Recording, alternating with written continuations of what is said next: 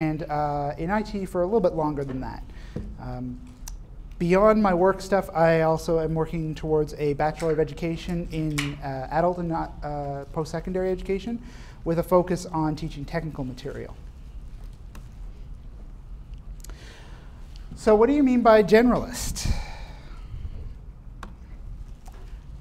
Not this guy. So to paraphrase a famous movie and meme, uh, I have a very non-specific set of skills.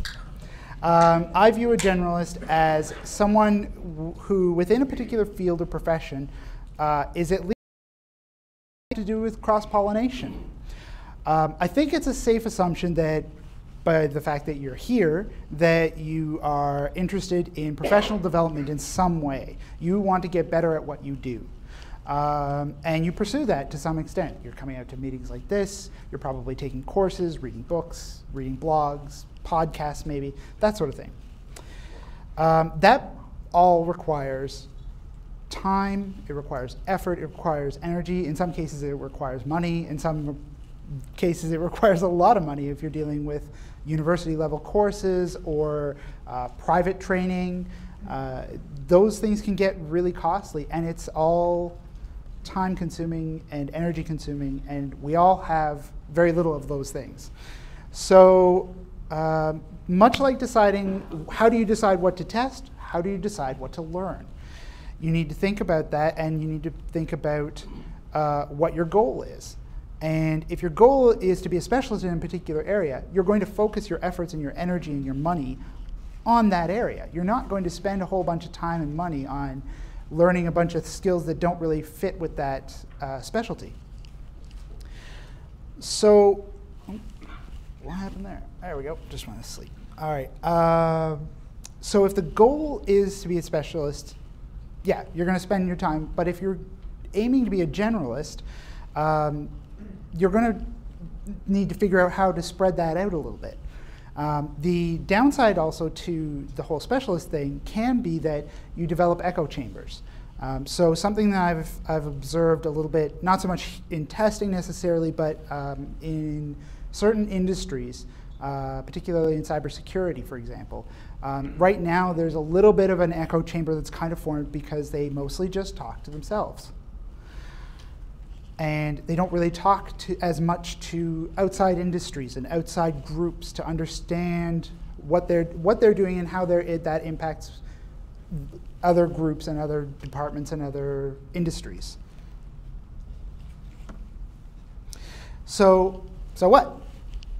Who cares? You know, we're doing our thing, we get our job done, right? So who cares if the, what the impact is? Well, cross-pollination gives us that opportunity to break out of the echo chambers, to break out of not even just within testing, we can break out of the echo chamber of focusing on testing as just the sort of industry itself and start trying to figure out if there are better ways to solve the problems that we have. Because there are problems that have been floating around in software testing, um, at least as long as I've been doing it, and there still seems to be no progress. Um, metrics are a great example. Um, you know, I remember Cem Kaner po posting about this a number of years ago, where it was like, okay, well, we don't really have great metrics. We need to solve this problem. It doesn't seem like there's been any traction on that. Maybe we, maybe the problem isn't something that we can solve on our own. Maybe we need to break out of testing and start talking to other groups. Um, on the metrics thing, actually, uh, as an example, uh, in 2018, I attended the Atlantic Security Conference. Uh, my sort of area of generalizing outside of testing has been cybersecurity, uh, just because it has it holds some interest for me. Um, so I, I, attended the conference, and almost every conversation that I had with cybersecurity professionals about the problems that they face, because that was what I went for. I wanted to understand what kind of problems are you facing, and how, so that I could start thinking about how can testing help solve those problems. And I was struck by the similarities of the challenges that they face and the challenges that we face. Um, how do we articulate our value to the organizations that we work for? How do we articulate the value of testing, how, or in their case, security? Um, how do you justify spending all this money that seems to just disappear and there's not really a good artifact that comes out of that? It, you know, lack of security breaches doesn't necessarily show up really well as a hey we didn't get breached this year. That doesn't sell really well. Um, you know it, as opposed to having something that you can show and say yeah we did this. Um, another one is the struggle to find good metrics. There's much like in software there are lots of metrics in security and a lot of them suck. A lot of them are useless. And or they're even if they're somewhat useful, they're only useful in certain contexts and they're often used out of, out of context. That should sound pretty familiar to anybody who's done software testing and ever tried to do any metrics. Uh, the division, uh, the divisions internally on on automation. Everybody here has probably dealt with that argument on one side or the other of is automation good or bad? What should we do with it? How should we do it? All those questions are happening in the security industry right now. Exact same things that we have dealt with. Different context, but the same basic problems. Um, even the, the machine learning question, they're actually a little bit ahead, I think, uh, in terms of asking, you know, what value does machine learning add? Does it add value? There's certainly lots of vendors who are saying, yeah, our stuff has machine learning, we sprinkled it on top. And you know, I'm sure there aren't any testers doing that, but but we haven't even done, uh, I don't think, as an industry, a ton of work on that. But I think we could. But we also still need to have that conversation about what is the value that we're bringing, uh, and what value can that bring, and where are the drawbacks? Where are the, what are the risks that we introduce by relying on machine learning? Um, so those questions are already happening in, in other industries. So if we were to have more discussions with people outside of the testing silo, I think we'd be able to help ourselves and help others in terms of finding better solutions, uh, or, or even leverage solutions that have already been come up with. We don't have to reinvent every wheel. We might have to reinvent some, of, we might have to invent a few things, but we don't always have to do it from the ground up. We might be able to take something and use it wholesale or adapt it. And I think that this is one of the things where we can also contribute outward as well. Um, and this is why I, feel it's important to be cross-pollinating. So not just taking, but also giving back. Um, so for example, we are great as an industry at writing. We write artifacts because we have to, right? Bug reports, that's a big one. Security has a huge problem with their, they're trying to grow their, their uh, workforce. Right now, there is a huge shortage of jobs in cybersecurity. And so they're hiring everybody they can get, but they don't have good training on writing. And write, their artifacts are the same as ours. They have, they need written documentation to prove that they did what they did and to show how they did it. And without that documentation, they just it doesn't look like they did anything. They could just be like waving their hands and say, "Hey, I did stuff."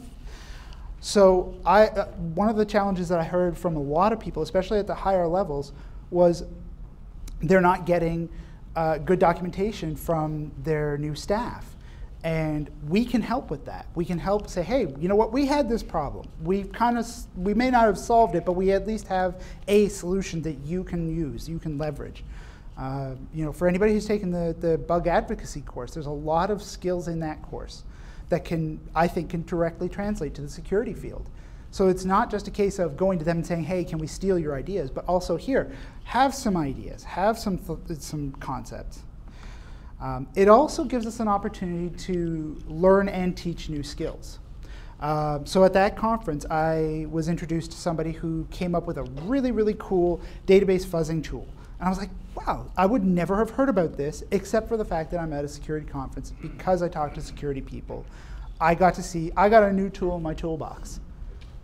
It doesn't cost me anything. And also, I, I met somebody cool, which is also a bonus.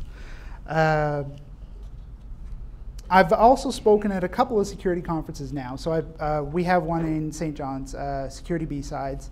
Um, that we run every year. And I've spoken at that one. I also spoke at, at the Atlantic Security Conference, which has helped me develop my presentation skills, which are getting better, I hope.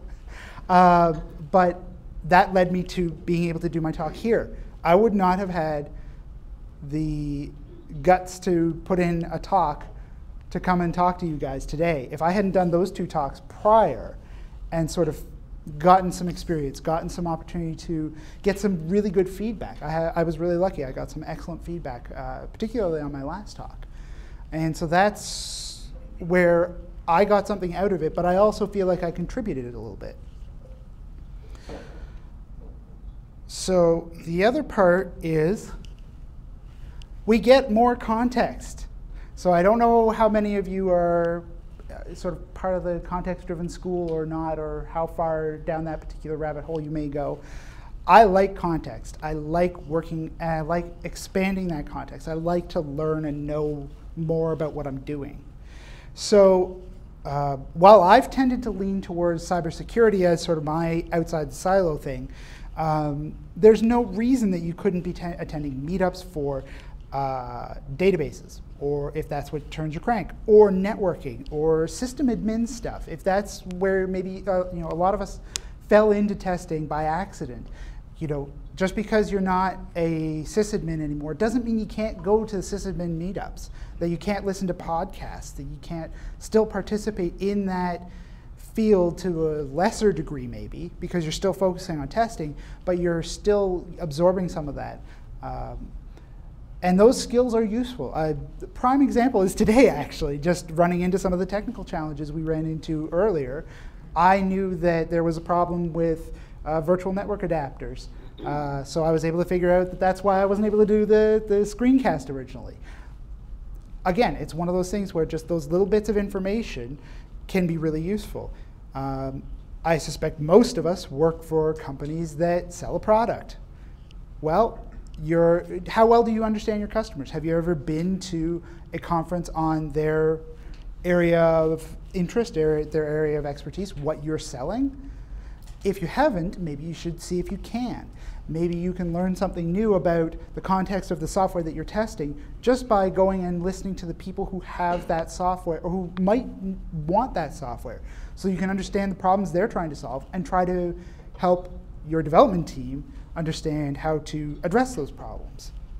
So context, it's a great thing. So now what? So it's like, okay, great. Uh, so assuming that I've convinced any of you on the merits of this idea, how can you integrate this into your own professional development planning? Uh, my, uh, my suggestion is that you look at, the, at, at what do you do as a tester day to day? What, what interests you? What grabs your attention? If it grabs your attention, then maybe if, if you're not sure about what to pursue as professional development, maybe go with that. Start with that. Uh, read books. There's plenty of good sources for ebooks out there that are legit free or cheap. You can, and even if they're not, it doesn't hurt to spend a little money on your own professional development uh, if you can. Uh, go to meetups like this one. There's, I mean, you guys are in Kitchener, so, Waterloo, so like you guys have meetups for everything. You know, St. John's is, is, is unfortunately a little dried up on that front, but you know, you have, there's got to be meetups for just about everything you can think of in terms of technical stuff. So once you understand, once you know that, start looking. Just use Google, use your searching, like leverage your, your ability to investigate. Uh, have coffee with people that you work with. You're, you're interested in delving into the database side of things? Great. Go find your DBA or whoever has that expertise. Go and take them out for lunch, take them out for coffee, and just pick their brains. And be upfront with them. Tell them, look, I want to get better at this. I want to learn more about this to make my testing better, to make your life easier. Because you know, that's what we're usually trying to do is we're trying to test this stuff so that it doesn't go out bad. But if we understand more about those tools and about those fields, then we can start doing better testing. Um, one of the biggest bonuses that you, I've found out of it as well is networking. Believe it or not, I'm actually pretty introverted. I'm not, this is not my comfort zone. But, and neither is networking. But I have gotten so much out of being able to do that networking by being able to have those conversations with people. I've learned a lot about other fields in terms of the technical stuff, but also I've learned about other people and what they're just human beings. Just learning about that is is always a good thing. It's always useful, and I've made some great friendships, uh, and it, a lot of it has come from attending meetups, attending conferences, and just getting to know people and they introduce you to other people and you learn and you grow and you just never know where those opportunities are going to take you. Another good way to learn is by doing this, presentations. Uh, so whether you're talking about internal to your organization or at a conference or at a meetup, uh, a practical learning strategy that you can leverage is to take on a beginner challenge. So let's say you've never done automation before, you're, you've never done programming before. Pick a language. I like Python personally, but that's just me. Say, okay, I'm going to do something for a certain amount of time. I'm going to take on a basic challenge and do 30 days or 60 days, and then write a report or write a, create a presentation. Um, so my, uh, when I went to the Atlantic Security Conference, I was actually going there as a speaker. Uh, and my talk was about a 30-day uh, or a 30-day challenge where I did 30 minutes of security work every single day. Now, sometimes that was just reading because I'm not an expert in that field by any stretch. So, and also I'm busy, so reading is sometimes the only thing I can get done. But the idea is that I was able to bring that information to a bunch of security professionals at varying levels and say, okay, this is what I saw, this is what I found, these are the things that went well, these are the things I found challenging.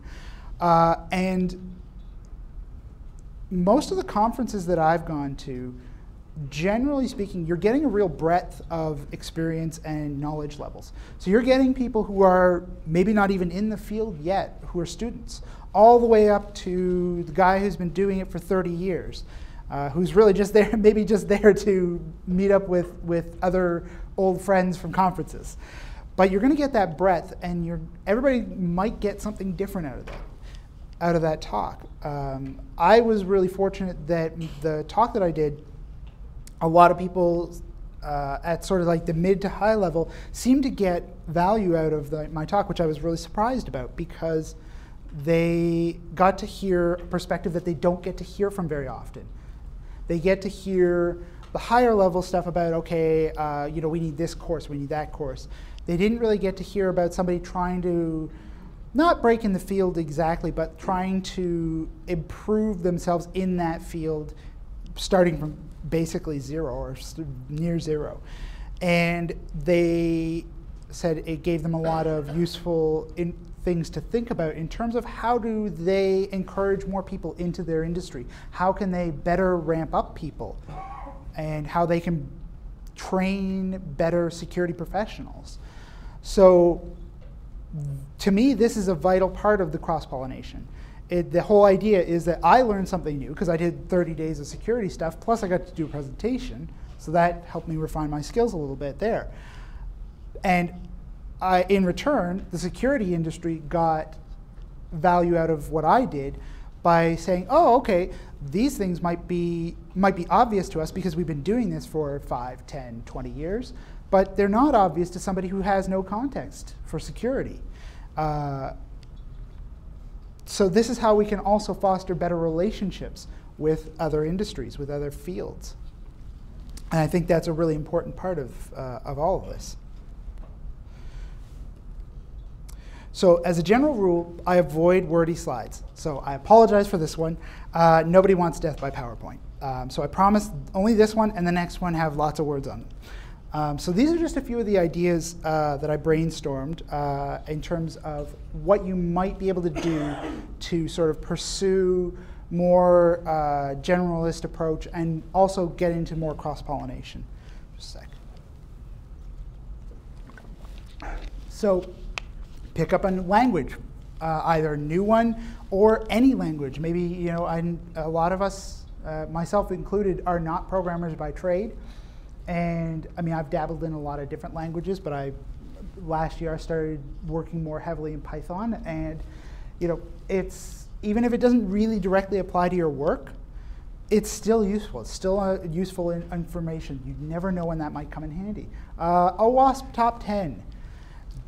So the OWASP Top 10, for those of you who, aren't familiar, is basically the top 10 security problems uh, in a given year.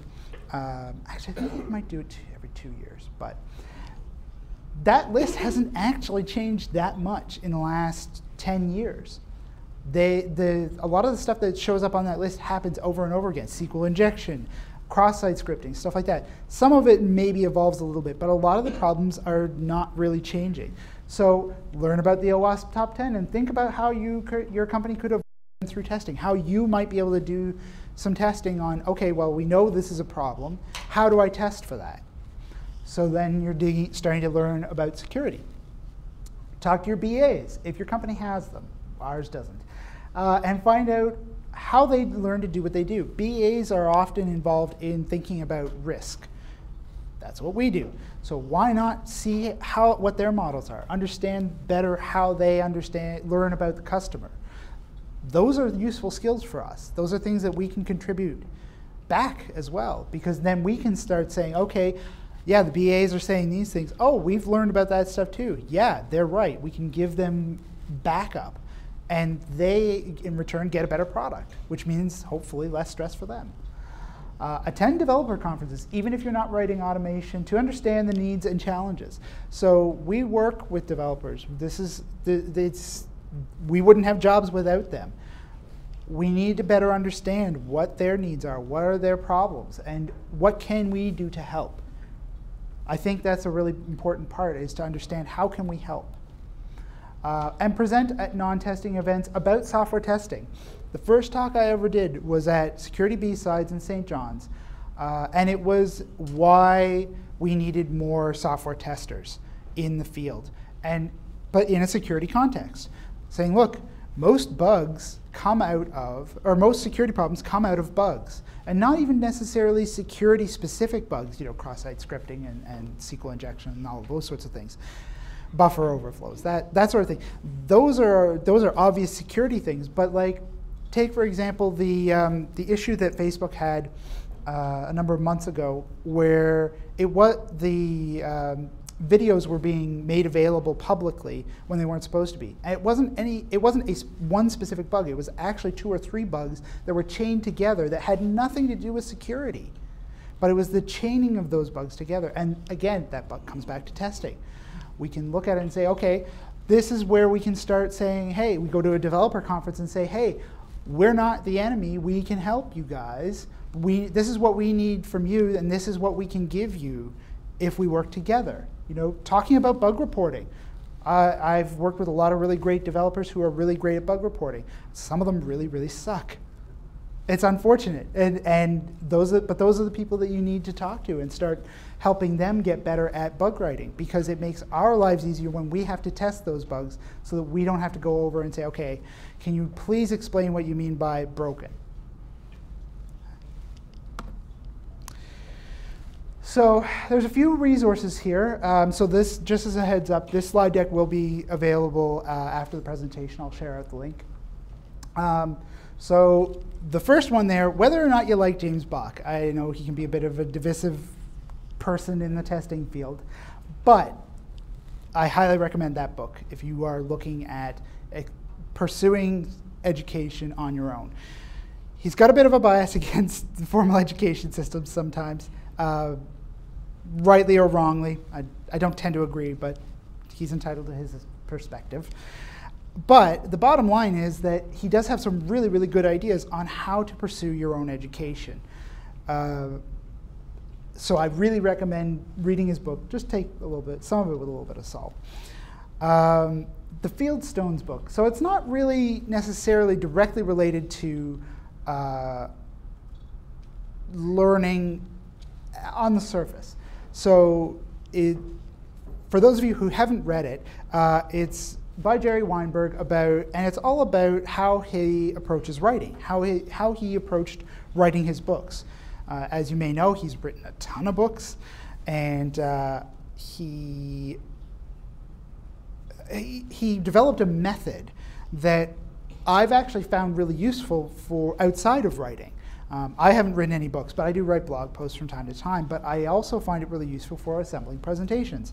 Uh, I used it at basically a, a, modified version of Fieldstones to develop this presentation uh, using Trello.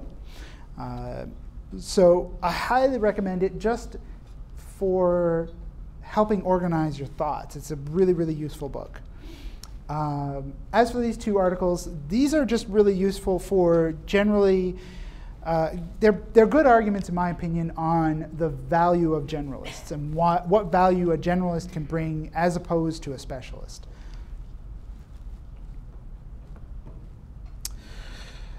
So it's, it's a few closing thoughts. Uh, so being a generalist can mean a lack of a clear roadmap, and that can be intimidating. It can be nerve-wracking when you're in the middle of it. You never know if what you're pursuing is the right path because there's no map, or even if you're heading in the right direction. But to my mind, uh, whatever path you choose is the right one at that moment uh, what direction you choose is the right direction at that moment. And you can always change direction. You can always take a different path. You can say, okay, look, I pursued this thing. Eh, okay, I'm done with that, and move on. That's the value of being a generalist is that you can change. You can do something different. You're not invested so much in one thing and one thing only.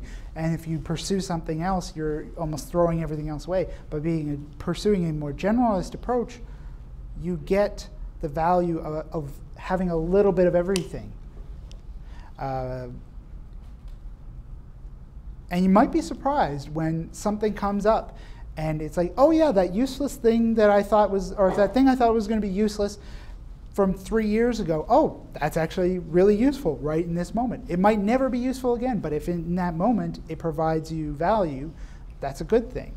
And you never know what you might learn or who you might inspire. Because that's sometimes as valuable or even more valuable is okay, you might do something cool, but maybe you're going to inspire somebody to do something even cooler. And that to me is, I think that's really exciting. So, uh, if you have some foolish reason to want to follow what I do or what I say, this is generally where I, I am at on the on the tubes. Uh, and so that's pretty much it. Uh, so thank you very much for your attention. And uh, if you have any questions, uh, I guess now is the time.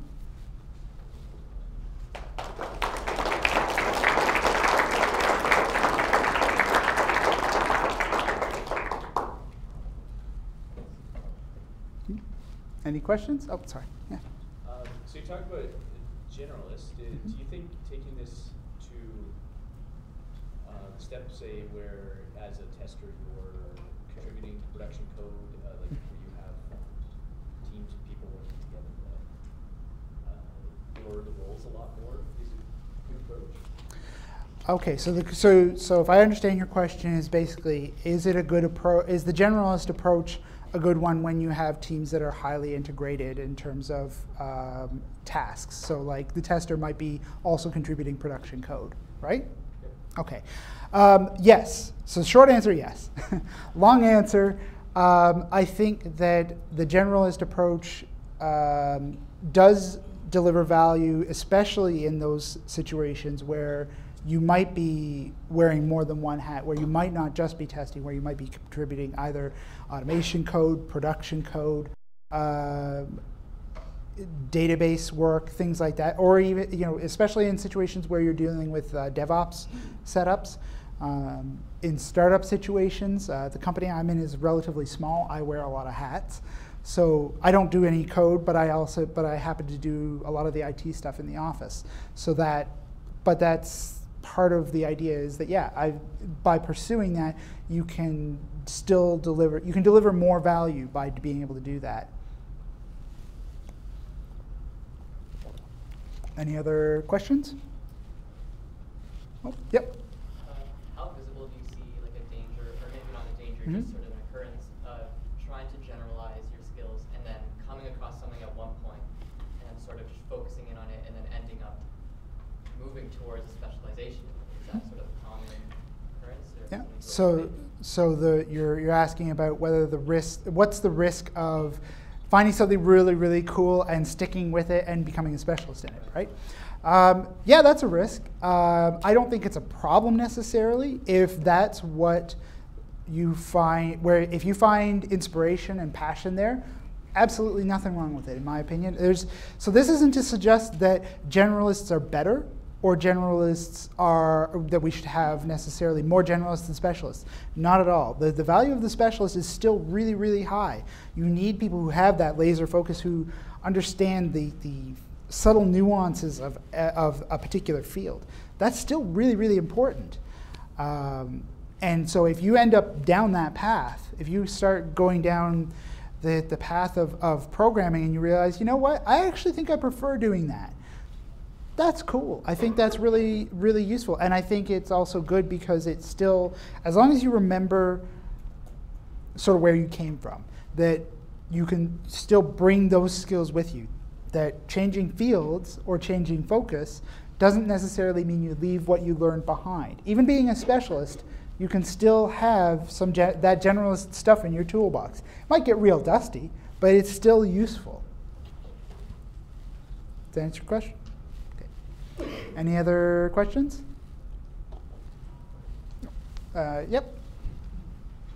So, I, I'm at a startup at the moment because I've seen it so much, but I work in a lot of large organizations, and I find that if you try and do something that's, that's cross-functional, uh, you wind up bumping up against the, uh, the organizational boundaries, Mhm. where either both sides that you're trying to work with will say, that's not my problem, it should be in their budget. Uh, Mhm. How do you sort of break down the, the walls as a generalist to, to Yeah.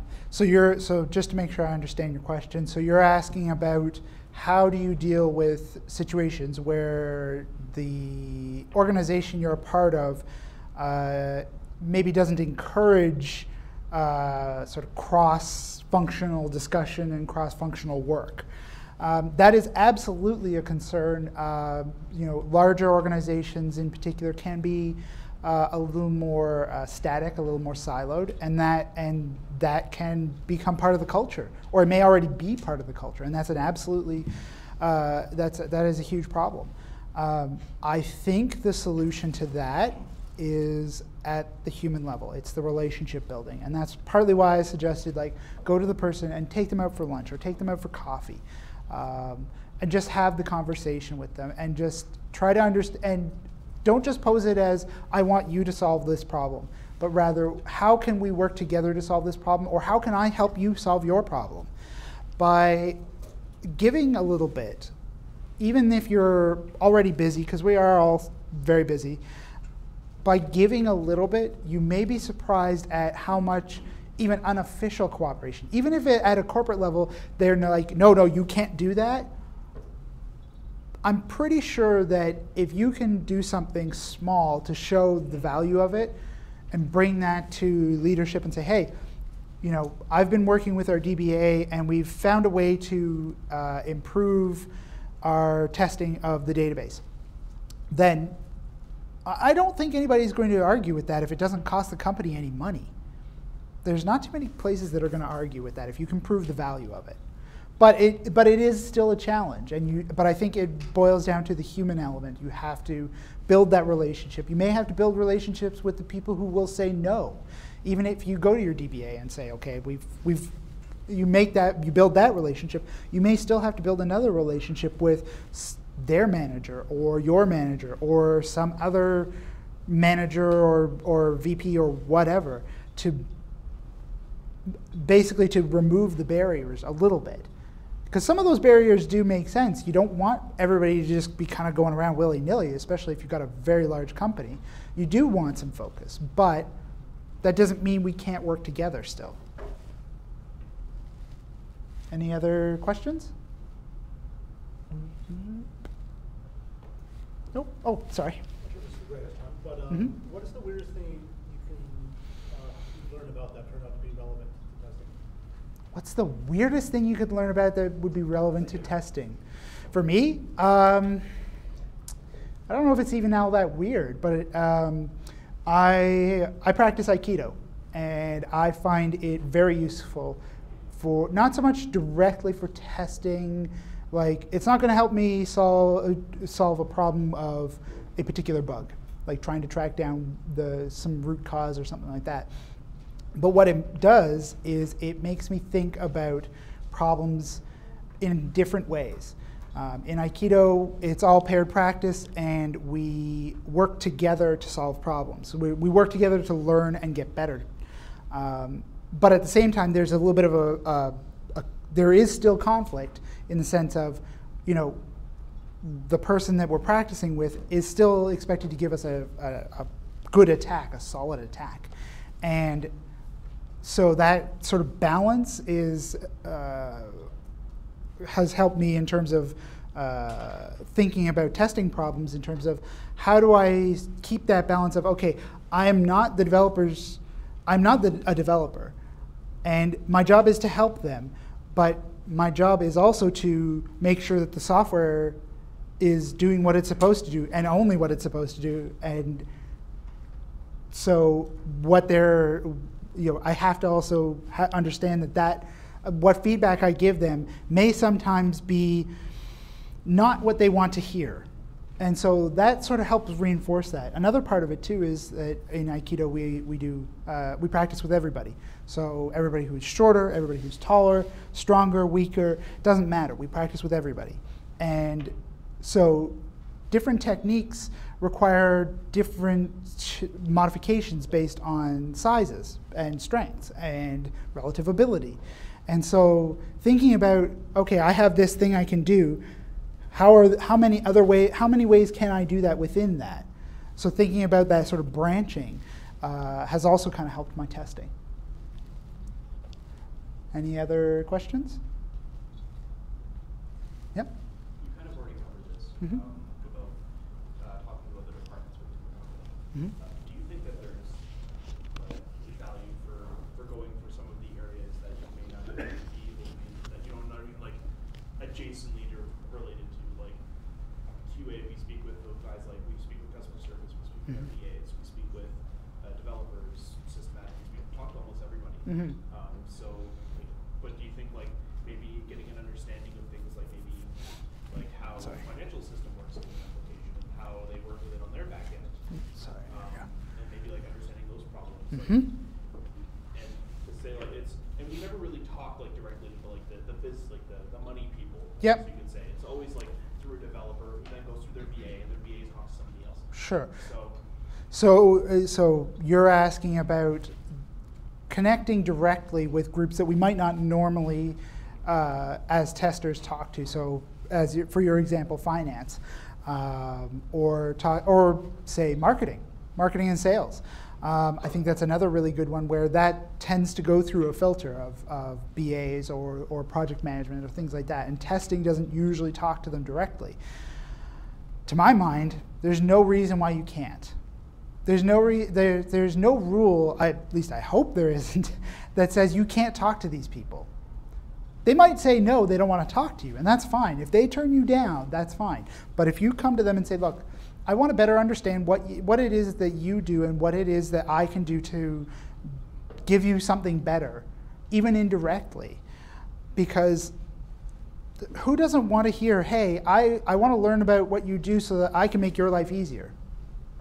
That seems like a pretty easy sell, um, other than the time thing. And I mean, like I, like I said, we were all busy, so you do need to try and respect their time. So you don't want to say, I want to sit down for a day and, and, and pick your brains.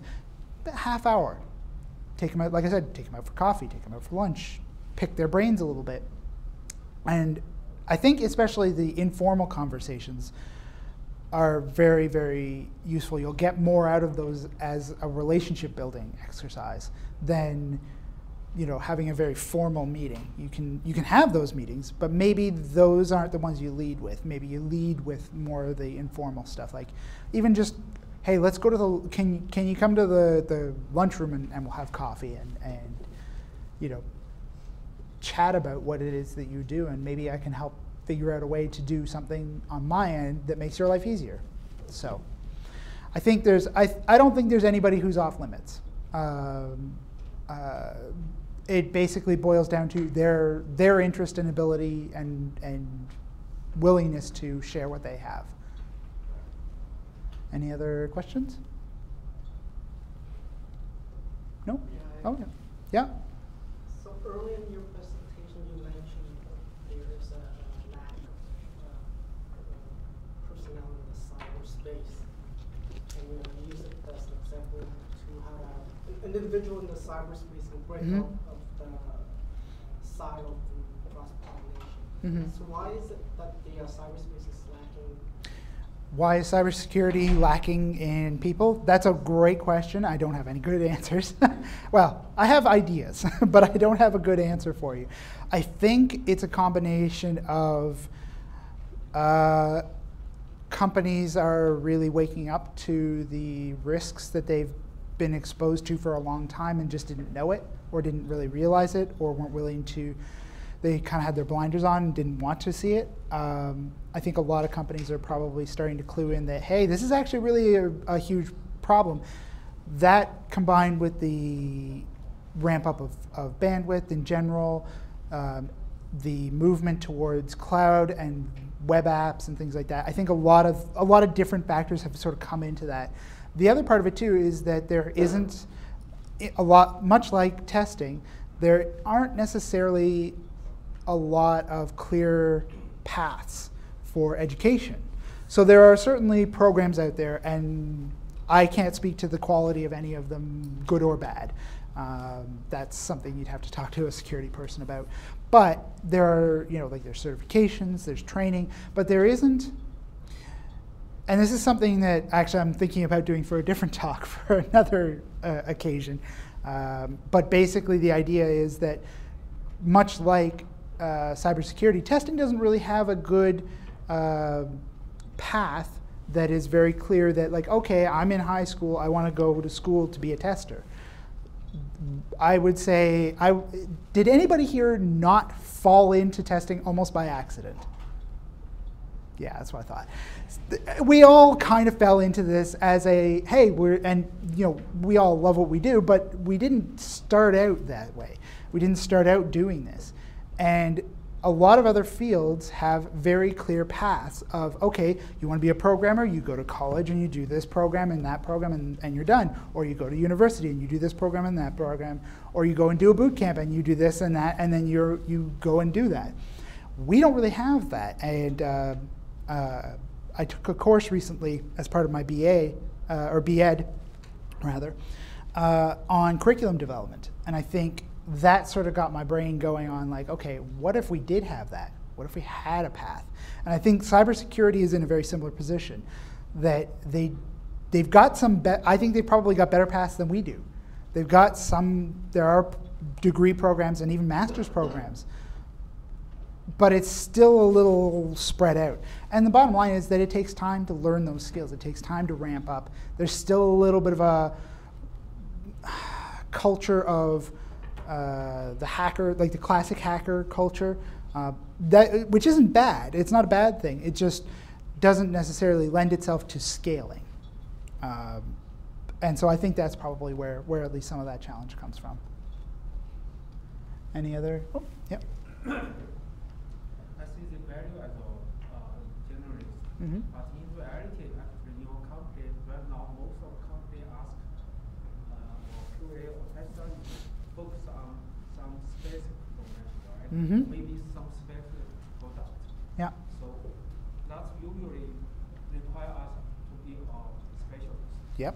So how can we convince the management of Mm. the company is develop the skill for us to be a generalist? Mhm.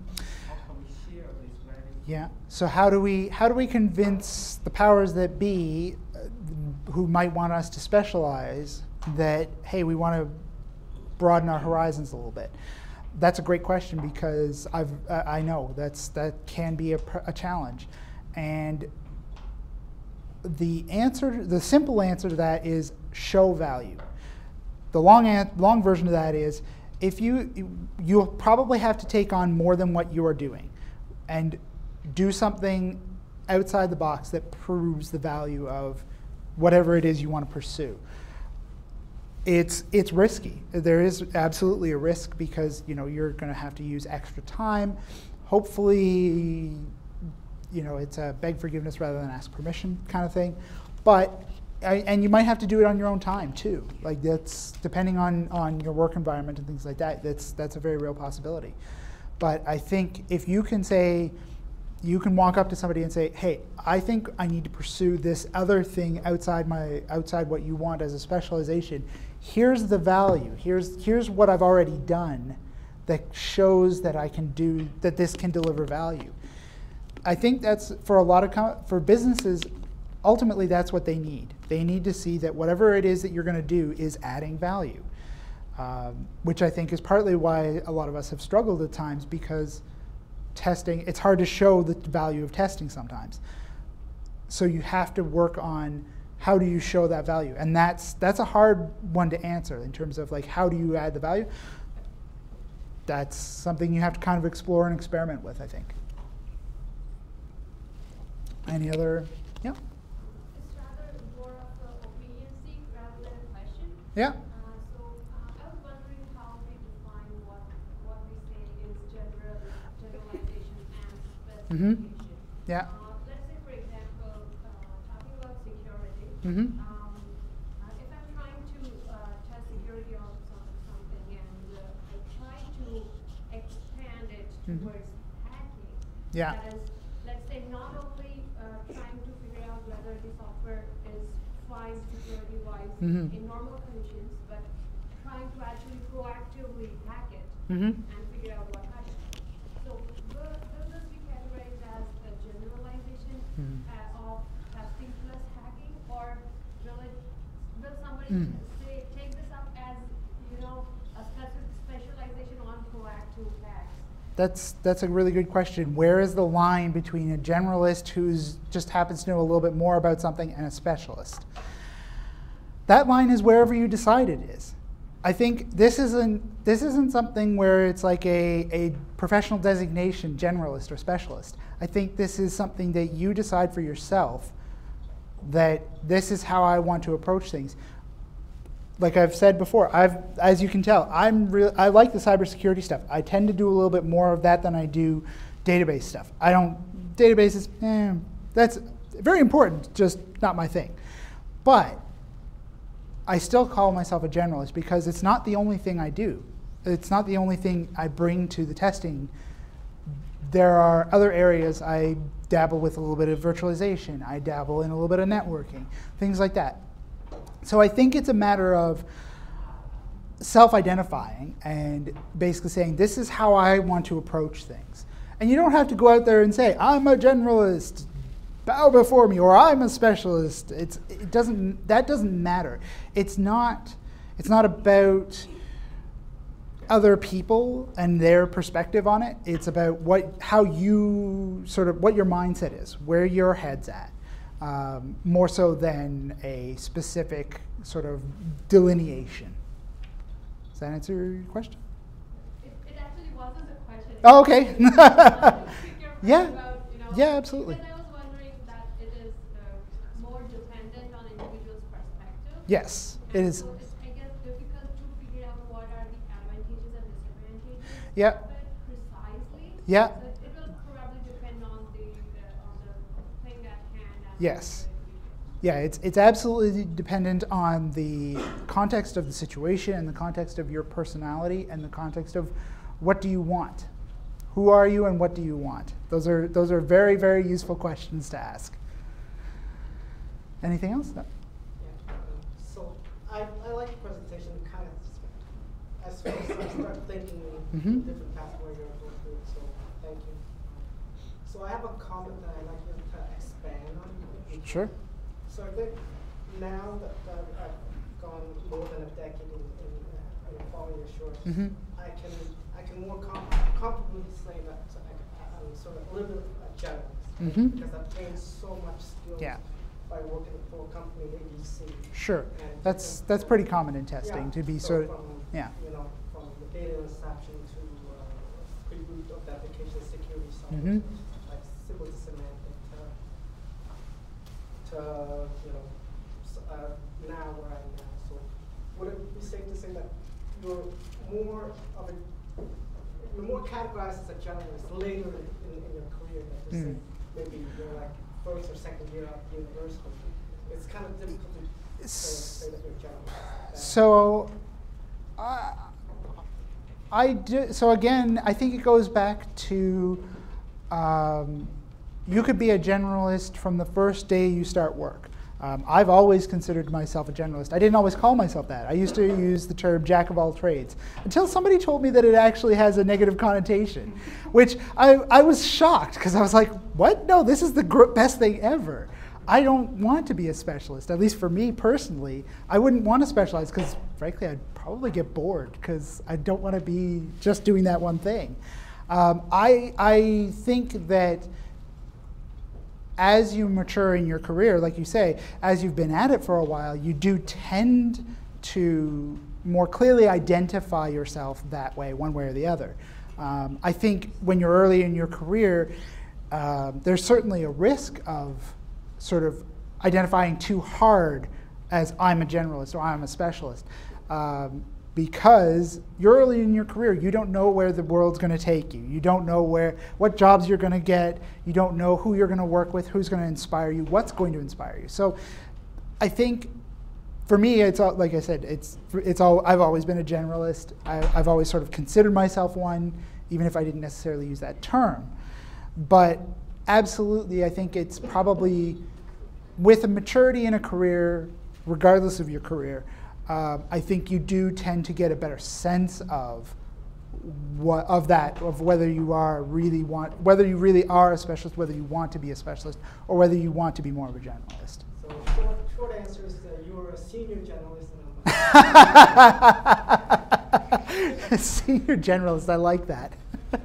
That's good. I like that. I, uh, I think Are we're we wrapping it up? Yep. Um, so I I assume you'll stay for another couple Yeah, minutes. yeah, I'll be around if Anybody has any additional questions? Yep. Um, thank you very much, Matt, and uh, we'll see you all in February. Yeah, Thank you very much, everybody.